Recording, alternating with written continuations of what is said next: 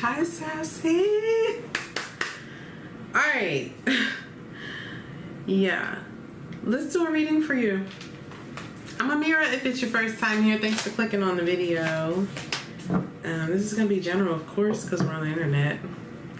If you guys want a personal session with me, okay, a spiritual healing session with Amira, you can check out my website, insightfulhealing.com. I'm so sorry, Sag. I'm all fidgety. All right. Okay, is that what's going on with you right now? Are you feeling fidgety? Okay. Um, yeah. So you have third house that came out, as well as the. Oh, I thought that was a south node. It's north node for you. I know you can't see it. You know, it's just for special effects. okay, so um, maybe important Sag for you to watch your north node placement. Our north node represents the energy that we're meant to aspire toward. Let's put it that way. So, for instance, my north node is in Capricorn while my south node is in Cancer. Okay, it's always opposite signs. So, in past life, that Cancerian energy has already been mastered. Okay, fourth house, home and family, um, nurturing, emotional, um, sensitive, disciplined with the emotional space. Already been mastered. It's a matter of now mastering that Capricorn space of focusing on Midheaven, career, um, parental expectations and beliefs, or um, like parenting styles, techniques. Okay. I'm hearing nutrition as well. Okay. Is that something that you're focusing on or something that you want to? I feel like somebody wants to improve their nutrition. Um, all right, but you're making progress here. You're making progress with something. Okay, so I don't know.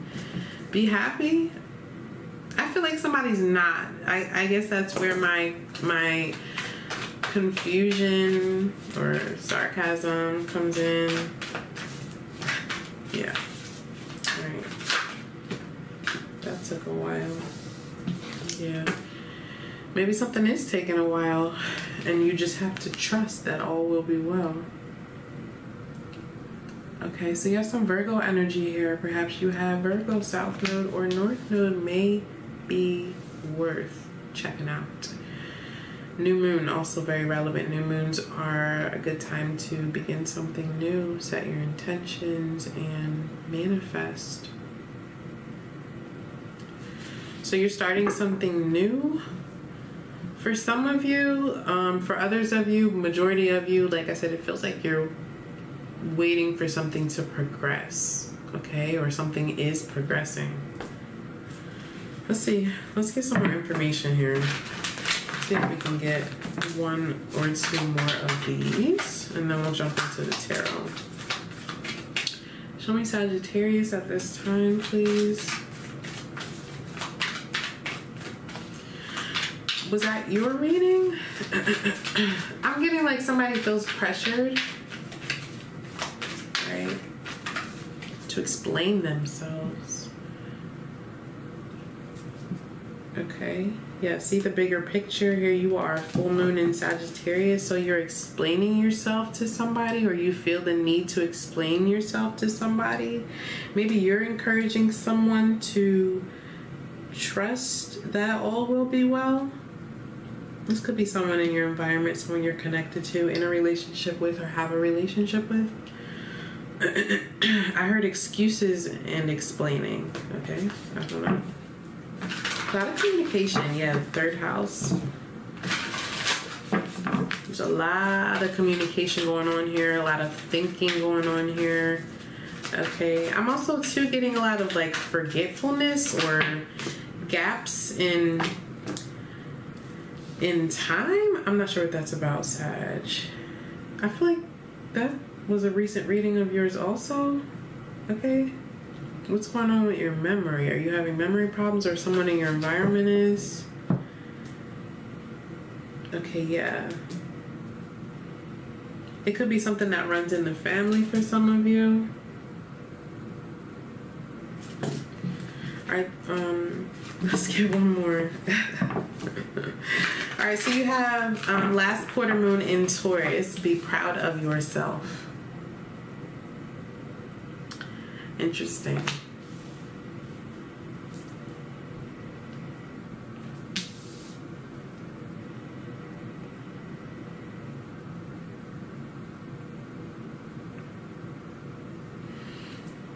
I feel someone trying to prove another person wrong.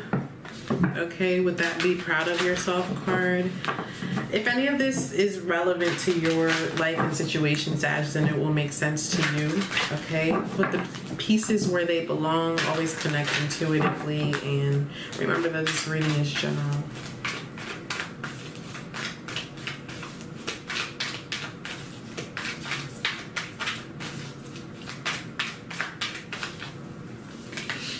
And you have more Cancerian energy. Let your fears dissolve.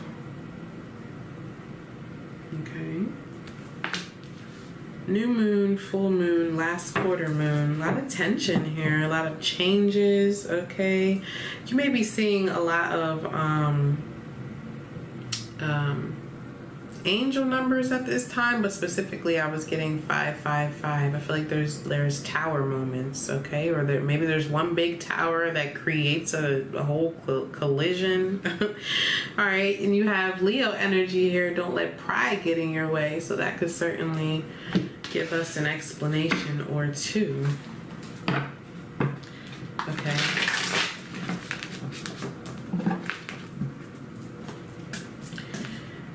Hmm.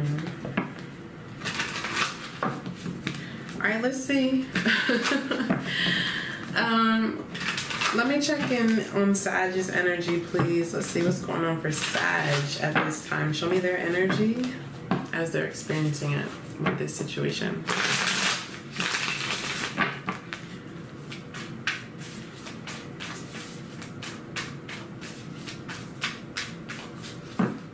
There's a lack of trust here that I'm definitely picking up on, Sag. Okay, so you don't trust this person, is what I'm getting. In conversation with them, in dialogue with them, maybe you feel like you're doing flips in your brain, even for some of you. With this mercurial energy, you may feel as though you're being um, manipulated, controlled. But something's progressing or you're trying to make something progress. You're trying to work together with another person here. I see that clearly there's another energy here that you are attempting to collaborate with in some way, build a team, have a relationship, partnership, so on and so forth. Okay. Yeah. Could be a water sign for sure. Heavy on the Pisces, Scorpio, Cancer. Okay, yeah, you have the Seven of Pentacles. Yeah.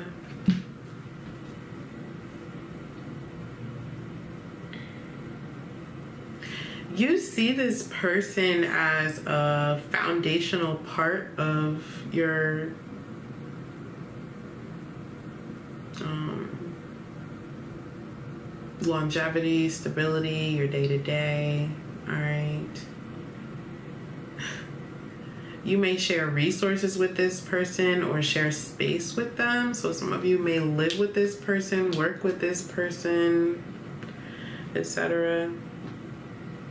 But you're in this energy of trying to figure out like are we going to get anywhere? So you're unsure of this. I feel like like I said you've had to be really patient. I think I said that out loud. I feel like you've had to be really patient here, exercise. Okay, I'm hearing manners. Yeah, so what about your manners? You've had to exercise patience um, here, Sag.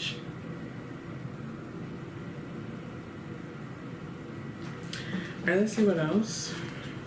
Yeah, the Nine of Swords. So are you are you anticipating these changes or this change? Hmm. Let me see.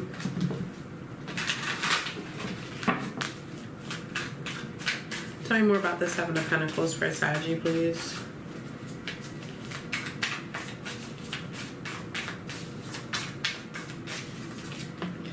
The Queen of Swords and the Hangman. Yeah, and the Ten of Pentacles. I don't. I mean, whoever this is, Sag, or whatever it is, you're. It's something that I want to say you're really passionate about but beyond passion it's it's commitment it's my livelihood i don't know what the connection is here but there's some kind of long-standing connection. I feel like the two of you yeah the page of wands. I feel like the two of you have some sense of freedom from me okay i wanted to say from each other. Interesting. This is changing. You're thinking a lot about this. Okay, so are you considering committing? Okay, let's let's see. Yeah, the Six of Pentacles. You're considering progressing this um, relationship in one way or another. Okay. But also very unsure of again, all this this air energy. Okay, you have the Queen of Swords and then you have the Hangman coming out, which is Neptune.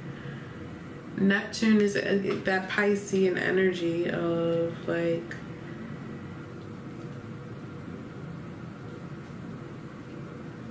I don't know. Somebody has a one of a kind like perspective here.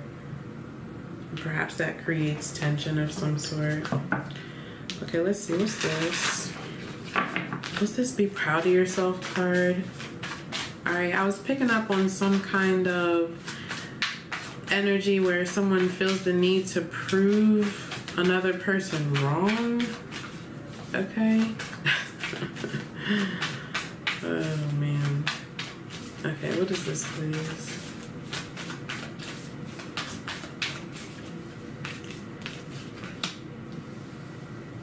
Okay, I'm hearing Cancer season.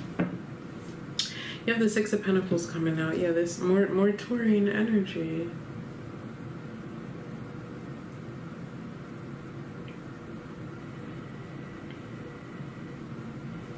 Let me get one more. I feel like someone again is struggling with the the process how long something is taking how little i have to show for it or something like this. It's like there's a need to have an attitude of gratitude basically essentially here. It's the knight of pentacles you know it's it's not the knight of wands it's not flighty it's not fleeting it's not inconsistent. You know the knight of pentacles is still going to get the job done it's just going to take a little while but it's more practical. Okay. Whoa.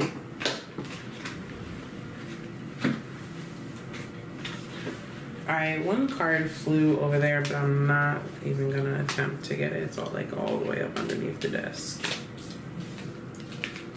And I wanna see. Actually, I'll just get another deck. That solves that. All right, let me see here. What's this um, Knight of Pentacles, please, for Sassy? Yeah. And remember, we have this card saying, don't let pride get in the way.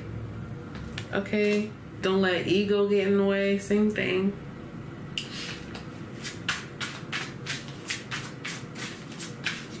I feel like somebody's stubborn here. Okay, what's the Knight of Pentacles?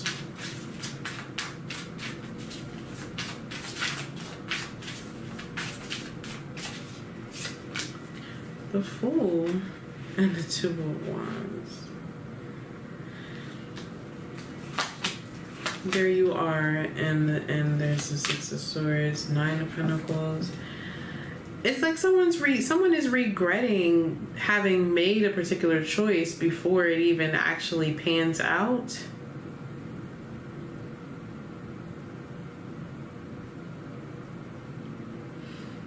Something's gonna take longer. It's gonna take more time. It's gonna take more cultivation, effort, energy, resources, yada yada yada.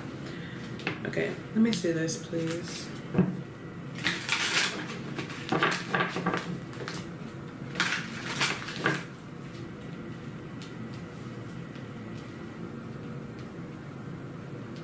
I feel like you have an opportunity here, Sag, though, to be in a more stable position.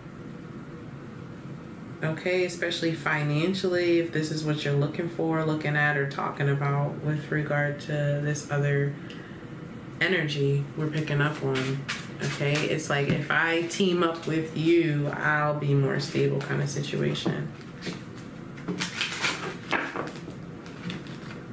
Maybe somebody is struggling through the idea of that here. Where was this, please? Yeah, and so there's fears. Mm-hmm. And there's a need to trust that all will be well. Okay. Full moon in Cancer. Queen of Swords again, and the Queen of Cups. Okay. And the Ace of Swords. I heard I'm looking at it objectively, and there you are, Temperance. So you're you're gonna find the solution here, Sag. The thing about it, I'm not really sure of the time frame of this for you because timing is okay. Um but all in due time things are are happening the way that they are meant to you know tomorrow is it can be viewed as a day later than i'd like my decision to be but what can you learn from tomorrow that you can add to the end result. I hope that made sense. Okay gratitude? Somebody needs to do some gratitude activities here. All right, I'm not gonna start spilling any off, but you reach out you need some.